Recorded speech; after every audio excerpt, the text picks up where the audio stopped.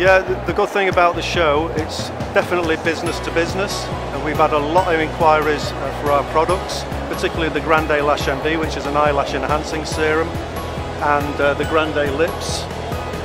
The, uh, we've had inquiries from distributors, importers, retailers.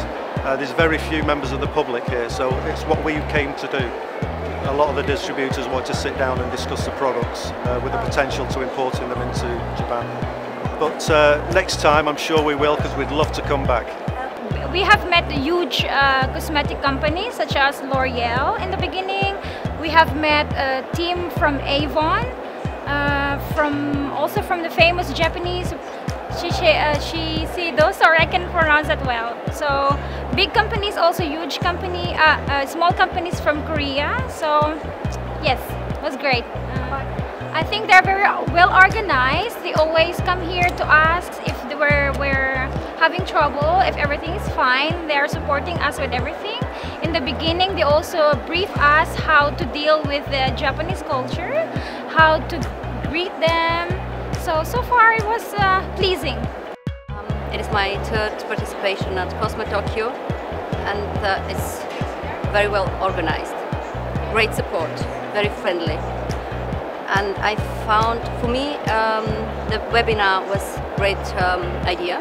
And the other good idea is the match matchmaking service. Very helpful. Mainly how to design my boot and that um, Asian people and especially Japanese people would prefer privacy. So I decided to, um, to have uh, at least two um, discussion tables and then open um, booth.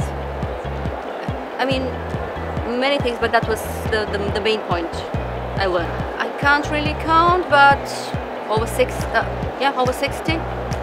Yes, and one contract signed.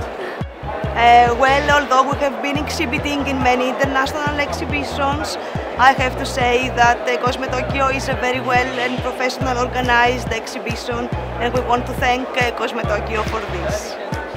Uh, we had uh, mainly visitors from Japan, but we also uh, had visitors from other Asian countries like uh, Korea and Taiwan and also China um, and um, basically Asian countries. yes. uh, yes, we are planning to participate again next year. Uh, greetings from Greece. Worthwhile. Excellent. Excellent. Brilliant. The show is amazing. Fantastic. Fantastic.